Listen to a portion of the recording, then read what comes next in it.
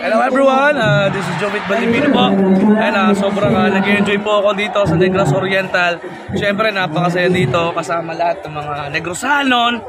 Alam niyo po ba na talagang uh, pinapasaya namin ni uh, Governor Henry Pride Teves ang Negros Oriental. Kaya guys, sa lahat po, sana suportahan po natin ang ating mahal na Governor, Governor Henry Pride Teves.